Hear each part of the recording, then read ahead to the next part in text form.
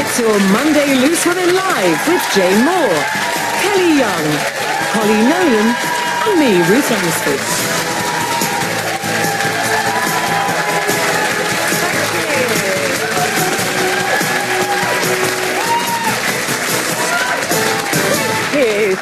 You very much. Welcome to your first Loose Women of the Week. Great to have your company. Now, some really interesting talking points for you today. Coming up in just a moment, we'll be asking is it a good idea for drag queens to teach two year olds about gender diversity? Then at 12.45, find out what. Where is it?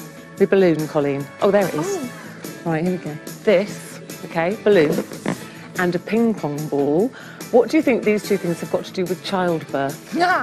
The mind boggles. The mind boggles, doesn't it? But actually, it's quite interesting. Don't miss that.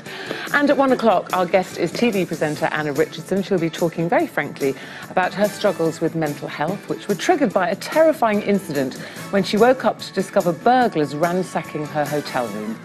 Uh, yes, horrible. Um, so there you go. That is our little show for today. So Well, listen, we hope it comes back, don't we? Naked Attraction, Anna Richardson, everyone. Thank you so much. We, could talk to you all day. I'm afraid I have to go. Uh, thank Kelly as well for our guest pan- to being our guest panelist.